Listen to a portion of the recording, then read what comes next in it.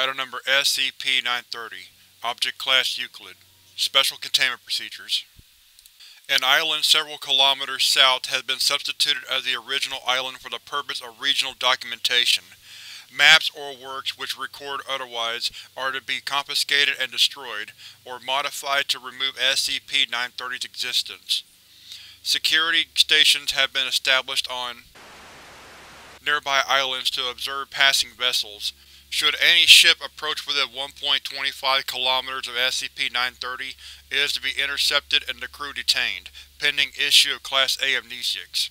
Should SCP-930-1 flee from SCP-930, SCPS Guardian is authorized to commence long-range incendiary bombardment. Description: SCP-930 is a tropical island located at 22 degrees south, 134 point degrees west, formerly known as by the local populace. SCP-930 is approximately 710 meters in diameter, with a range of 680 to 760 meters, although accurate shoreline measurements are impossible due to the manifestation of SCP-930's primary effects. Refuse retrieved during exploration attempts suggest that humans may have once lived on the island. Flora consists primarily of the Poaceae and Meliaceae families. However, aerial photography of SCP-930's canopy has revealed a number of introduced species also populate the island. Several species of birds, dubbed SCP-930-1, inhabit SCP-930.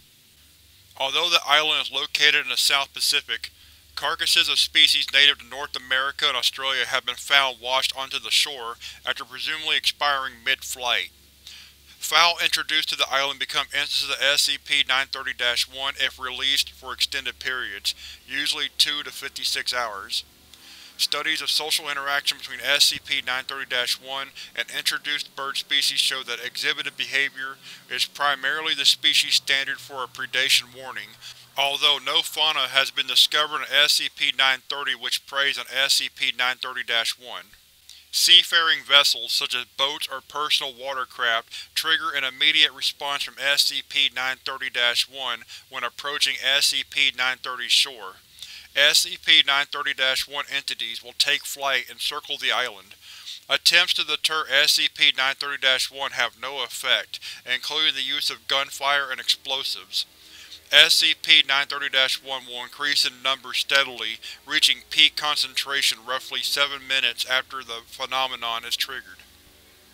SCP-930-1 activity usually covers between 2 square kilometers. Ships that run aground, or come to a complete stop at the shoreline will cause all active instances of SCP-930-1 to become aggressive, targeting the vessel and driving exposed crew to cover. SCP-930-1 shows hostility towards humans after they disembark, to the extent of inflicting non-lethal wounds. It appears that SCP-930-1 will not intentionally kill humans. Extensive attacks usually result in intruders fleeing from the island. Only then will SCP-930-1 cease its activities and return to a passive state. Addendum 930-1 On EX-Y7 successfully landed on SCP-930 and retrieved specimens of SCP-930-1 for Foundation study.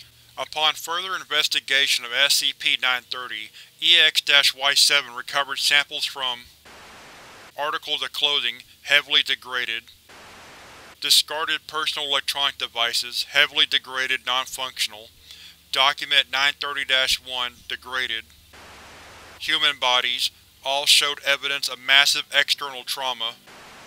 Cameras. Non-functional. One functional. Document 930-1. Begin.